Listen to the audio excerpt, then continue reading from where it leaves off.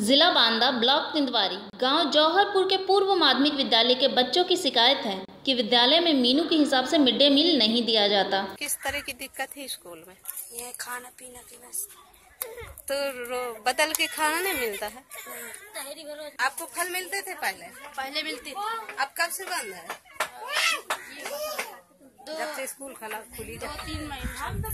और रोज रोज क्या मिलता है खाने का? क्यों कहरी रोज मिलती है?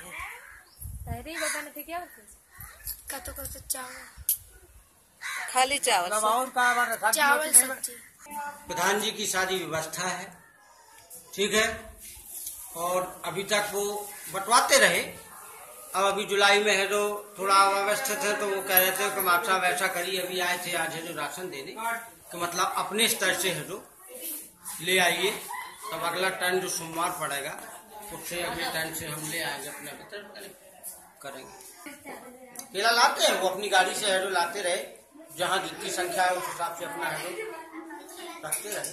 फल वाला ये बताया गया अभी जो ये आपका बजट आया है तो बजट में सुनने में आपको भी आया होगा हमें भी आया कि बजट में सरकार ने फल का बजट खत्म कर दिया है। तो अभी तक तो पिछले जो आपका शस्त्र था तब तक बढ़ता रहा है पूरे जुलाई में। लेकिन अगले उसमें बढ़ना तो बड़ा मुश्किल है क्योंकि इसका बजट नहीं मिला। जौहरपुर में जो मिड डे मील के हिसाब से जो भोजन मिलता है बच्चों को तो वहाँ एक महीने से हर जो बढ़ते हैं वो क्यों नहीं बढ़ता? है लगभग सोलह सत्रह तारीख को गए थे बच्चों से पूछा उन्होंने कहा कि नहीं फल मिले हमें। सर ऐसी बात तो नहीं है हम लोग गए हैं वहाँ पूछा सारे बच्चे यही बोल रहे हैं।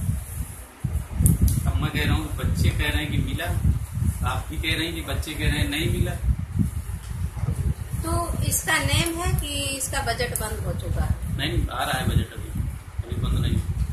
नहीं एमडीएम में ऐसा तो होता नहीं कि पैसा दे दिया गया पैसा लेट आता रहता है है ना? कन्वर्जन कास्ट नहीं है बनता रहता है आई फिर भुगतान हुआ।